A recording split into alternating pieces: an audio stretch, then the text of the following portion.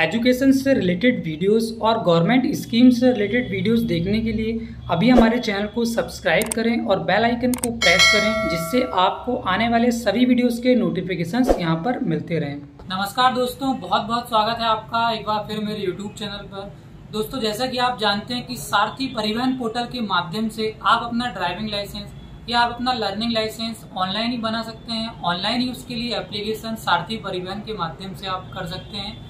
और उसका जो ऑनलाइन टेस्ट होता है, वो भी आप सारथी परिवहन पोर्टल पर लॉगिन करके लाइव जो टेस्ट होता है, वो आप ऑनलाइन ही दे सकते हैं। और उस पर मैंने एक वीडियो बनाया हुआ है, किस तरह आप सारथी परिवहन में लर्निंग लाइसेंस के लिए ऑनलाइन अप्लाई कर सकते हैं। उस पर मैंने एक वीडियो बनाया हुआ है और उसका लिंक मैंने डिस्क्रिप्शन में डाल दिया है, वहाँ से जाकर देख सकते हैं। उसके अलावा इसका लिंक आपको आई बटन में भी देखने को मिल जाएगा।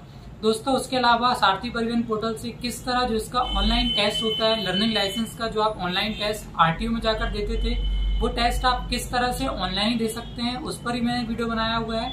उसका लिंक भी मैंने डिस्क्रिप्शन में डाल दिया है, वहाँ से जाकर देख सकते हैं और उसका लिंक आपको आई बटन में देखने को मिल जाएगा। दोस्तों, आज हम बात करने वाले हैं सारथी परिवहन पोर्टल पर एक ऐसी समस्या का, जिसके बारे में बहुत सारे लोगों ने मुझसे कमेंट कर कर भी पूछा।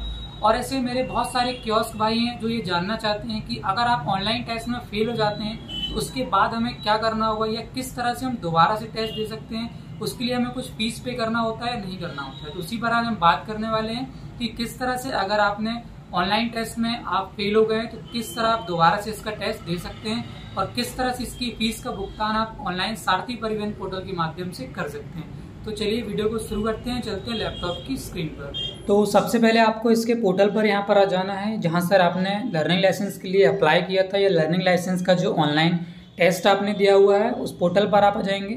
इस पोर्टल की जो लिंक है, वो मैंने डिस्क्रिप्शन में डाल दी है। वेबसाइट का लिंक जो है, वो डिस्क्रिप्शन में आपको देखने को मिल जाएगा। तो पोर्टल पर आने के बाद यहाँ पर आपको लर्नर लाइसेंस पर चले जाना है। लर्नर लाइसेंस ड्राइवर लाइसेंस पर आपको क्लिक कर देना है। उसके बाद यहाँ सबसे पहले अपना स्टेट आप सेलेक्ट कर लेंगे, जिस स्टेट से आप बिलोंग करते हैं।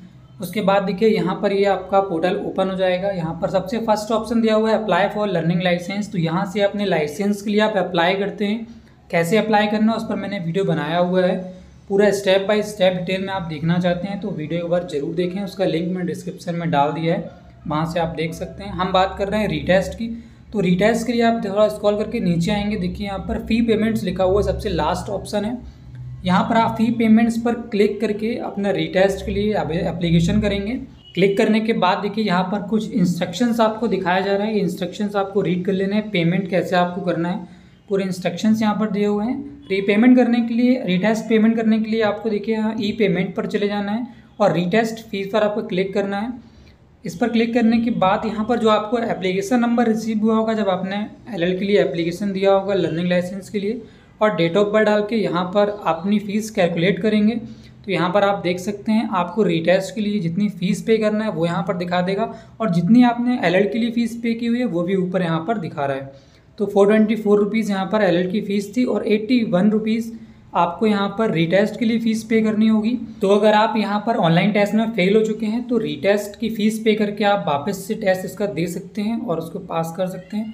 पे नाउ पर क्लिक करने के बाद यहाँ पर पेमेंट की डिटेल्स आ चुकी हैं। इसको आई एग्री पर क्लिक करके आप प्रोसीड फॉर पेमेंट पर क्लिक करेंगे। अब यहाँ पर उसी तरह से जिस तरह से आपने एल की फ़ीस पे की हुई थी, उसी तरह से आप पेमेंट कर सकते हैं। डेबिट कार्ड नेट बैंकिंग या किसी अन्य माध्यम से आप पेमेंट कर सकते हैं। तो देखिए, यहाँ पर हमारा पेमेंट हो चुका है नेट बैंकिंग के माध्यम से किया हुआ है।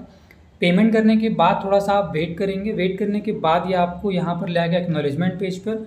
अब यहाँ पर आप चाहें तो इसका एक प्रिंट लेकर रख सकते हैं। प्रिंट रिसिप्ट पर आप क्लिक करेंगे तो यहाँ पर आपका जो पुराना पेमेंट स्टेटस है, वो भी डिस्प्ले कर रहा है और जो अभी आपने पेमेंट किया हुआ है, उसका रिसिप्ट यहाँ से आप निकाल सकते हैं। जो भी रिसिप्ट आपको निकालना उस पर आप टेक करेंगे। कैप्चा वैल्यू यहाँ पर डालेंगे और प्रिंट रिसिप्ट पर आप क्लिक करेंगे तो अपना पुराना पेमेंट या नया पेमेंट जिसका भी आप रिसिप्ट निकालना चाहते हैं। पेमेंट रिसिप्ट निकालने के बाद यहाँ पर हमारा प्रोसेस कंप्लीट हो गया। हम देखेंगे किस तरह से आप इसको लॉगिन करके दोबारा से टेस्ट दे सकते हैं। तो वापस यहाँ पर हम होम पेज पर आ चुके हैं और यहाँ पर देखिए सबसे ऊपर लर्नर लाइसेंस पर आप जाएँगे तो यहाँ पर आपको ऑनलाइन एल टेस्ट पर क्लिक करना है और आपके पास एक नया पासवर्ड आया होगा एल एप्लीकेशन नंबर तो आपका वही पुराना वाला होगा। उसके अलावा यहाँ पर डेट ऑफ़ बर्थ आप डालेंगे और जो नया पासवर्ड अभी आपको जो पेमेंट किया उसके बाद रिसीव हुआ होगा, वो पासवर्ड यहाँ पर डाल के आप प्रोसीड बटन पर क्लिक करेंगे। तो आप यहाँ पर ऑनलाइन टेस्ट देने के लिए लॉगिन हो जाएँगे। उसके बाद यहाँ पर देखिए ये आपका पेज ओपन हो चुका है। इस पर आप प्रोसीड बटन पर क्लिक करेंगे। क्लिक करने के बाद यहाँ पर आपको अपनी लैंग्वेज सेलेक्ट कर लेनी कर लेनी है। किस लैंग्वेज में आप टेस्ट देना चाहते हैं। लैंग्वेज यहाँ सेलेक्ट कर लेंगे और यहाँ पर चेकबॉक्स पर टिक करके कंटिन्यू पर क्लिक करेंगे तो आपका जो टेस्ट है ऑनलाइन टेस्ट है, जिसके लिए हमने दोबारा फ़ीस पेमेंट की हुई है, वो आपका यहाँ पर स्टार्ट हो जाएगा। देखिए कंटिन्यू पर क्लिक करने के बाद यहाँ पर आपका टेस्ट स्टार्ट हो चुका है। तो यहाँ पर आप दोबारा से टेस्ट दे सकते हैं। टेस्ट देने से पहले इतना आप ध्यान रखें कि इसकी तैयारी ज़रूर कर लें। अदरवाइज़ फिर आप फेल होते हैं तो फिर आपको फ़ीस पे करनी होगी और फिर आप दोबारा से टेस्ट देंगे। तो इससे अच्छा हम एक बार में यहाँ पर तैयारी कर लें। टेस्ट में यहाँ पर आपसे लगभग बीस क्वेश्चन पूछे जाते हैं। इसमें अगर आप बारह सही जवाब दे देते हैं तो आपका टेस्ट यहाँ पर कंप्लीट हो जाता है और आप अपना लर्निंग लाइसेंस यहाँ से डाउनलोड कर सकते हैं। देखिए, जैसे यहाँ पर हमने तीन जवाब सही दिए हुए हैं तो यहाँ पर स्कोर हमारा थ्री है। इसी तरह से हम हर एक क्वेश्चन का आंसर देंगे तो फोर फाइव सिक्स और इसी तरह से टेन इलेवन और जैसे यहाँ पर आपका स्कोर ट्वेल्व होगा तो आपका टेस्ट यहाँ पर कंप्लीट हो जाएगा और अपना लर्निंग लाइसेंस आप यहाँ से डाउनलोड कर सकते हैं। तो चलिए यहाँ पर हम लास्ट क्वेश्चन का आंसर देते हैं। आंसर देने के बाद कन्फर्म बटन पर क्लिक करेंगे तो आप देख सकते हैं यहाँ पर स्टेटस आ चुका है और आपका जो टेस्ट है यहाँ पर आप पास कर चुके हैं, उसके बाद क्लिक या to print your learner licence पर आप क्लिक करेंगे। तो जो आपका रजिस्टर्ड मोबाइल नंबर है, उस पर आपको एक ओटीपी रिसीव होगा। वो ओटीपी नंबर यहाँ से डाल के अपना लर्निंग लाइसेंस आप डाउनलोड कर सकते हैं। तो ये हमारा लर्निंग लाइसेंस यहाँ पर बनकर तैयार हो गया है। तो आशा करता हूँ अब आप समझ ही गए होंगे किस तरह अगर आप ऑनलाइन टेस्ट में फेल हो जाते हैं तो दोबारा से आप टेस्ट दे सकते हैं। तो दोस्तों, आज के वीडियो में इतना ही। अगर वीडियो आपको पसंद आया हो तो वीडियो को लाइक करें चैनल को सब्सक्राइब करें और हाँ बेल आइकन को प्रेस ज़रूर कर दें, जिससे इसी तरह के वीडियोज़ में लाता हूँ तो आपको अपडेट मिलते रहें।